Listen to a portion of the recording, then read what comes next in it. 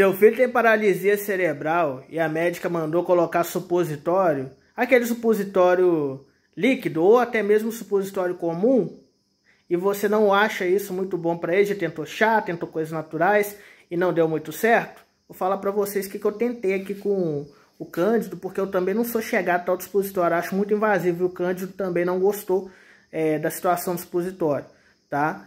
Não gostou de jeito nenhum, menino macho, pensa menino macho, ele reclamava com a mãe dele uma quantidade de tal dispositório, vocês nem têm noção. Bom, aqui com vocês, Rafael Andrade, vamos embora falar aí no vídeo sobre como ajudar o seu filho que tem paralisia cerebral a defecar, ter ali o intestino mais tranquilo, conseguir ali fazer é, ali aquele fazer as fezes que ele deve fazer, fazer o cocô dele ali normal.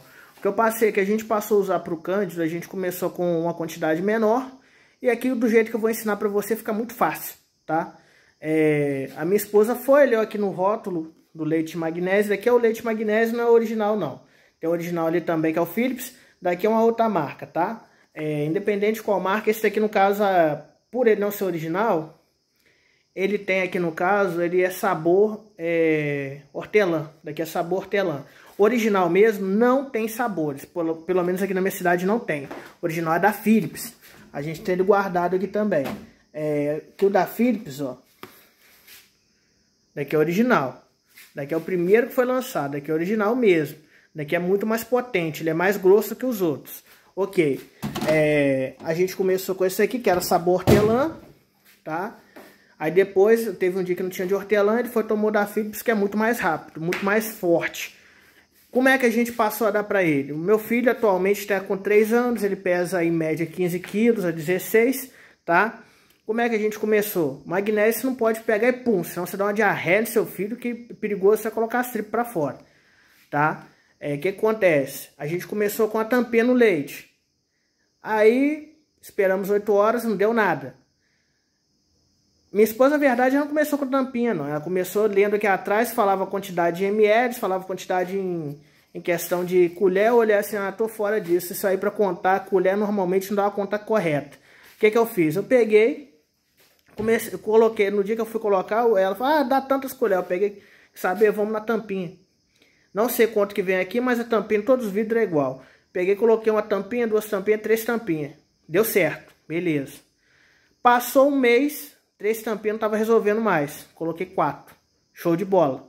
Atualmente, com esse aqui que é o, o genérico, sabor hortelã, é, a gente usa quatro tampinhas a no máximo cinco, tá? Tipo assim, coloco quatro tampinhas no leite, que a gente vai lá, ó, coloca aqui dentro da mamadeira, que ele ainda toma mamadeira, né? Porque ele tem paralisia cerebral, não aprendeu a tomar no copo, nem no... Nem naqueles que eles chamam de copinho, enfim.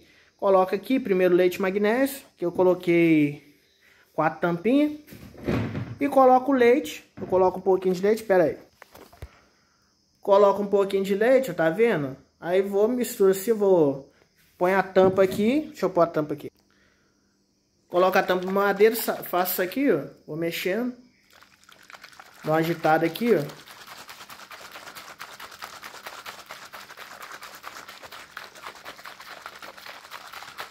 Show de bola.